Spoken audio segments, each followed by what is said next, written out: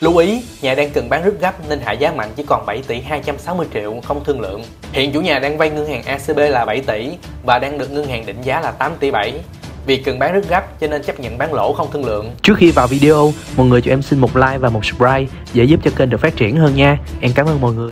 Chào mừng mọi người quay trở lại với channel của Xem Nhà Online Như thường lệ, em luôn để số điện thoại chủ nhà ở dưới video cho mọi người liên hệ trực tiếp, không cần phải qua môi giới Đường 3 tháng 2 là một trong những tuyến đường sầm uất bậc nhất của thành phố cho nên có rất nhiều tiện ích như là Bệnh viện Nhi Đồng 1, Ngân hàng Eximbank, Trung tâm Thương mại Vạn Thành Mall, Thẩm mỹ viện và còn rất rất nhiều tiện ích khác nữa.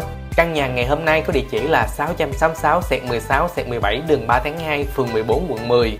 Đường trước nhà rộng khoảng 6m, xe tải đến tận nhà. Nhà cách mặt tiền đường 3 tháng 2 chỉ khoảng 100m. Nhà kết cấu 5 tầng đúc chắc chắn là một trong những căn nhà hẻm cao nhất khu vực Nhà có diện tích ngang 2m5, dài là 18m, ở đằng sau nở hậu ra là 2m8. Nhà kết cấu là 5 tầng, giá đang kêu là 7 tỷ 260 triệu. Hiện nhà đang vay ngân hàng ACB là 7 tỷ, bán được đủ để trả nợ nên không bớt thêm nữa. Tính ra giá nhà rẻ hơn mức định giá của thị trường rất nhiều. Khu vực đường 3 tháng 2 ở quận 10 là khu vực trung tâm nên nhà mình có thể kinh doanh, cho thuê hay ở đều được. Hiện tại nhà đang cho thuê, nhà đang sửa sang lại nên lên video có hơi bừa bộn tí xíu, mọi người thông cảm.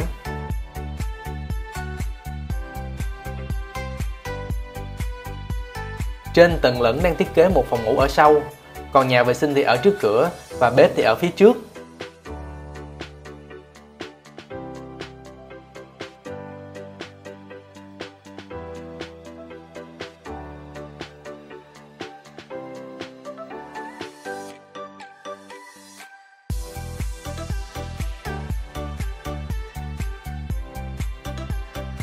Lầu 1 gồm hai phòng ngủ và một nhà vệ sinh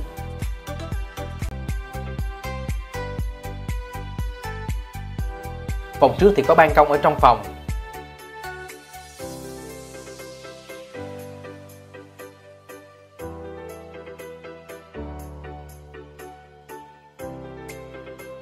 Tiếp theo là lầu 3, vì lầu 2 xây giống hệt lầu 1 nên em không quay. Trên nóc có một giếng trời làm thoáng ánh sáng, nên dù nhà rất là cao cũng không bị tối. Lầu 3 thì có một phòng ngủ ở đằng sau và nhà vệ sinh ở trước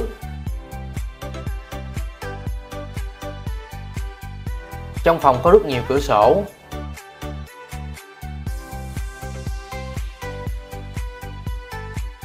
Còn khu vực ở trước hiện tại là sân thượng, có thể làm sân phơi đồ.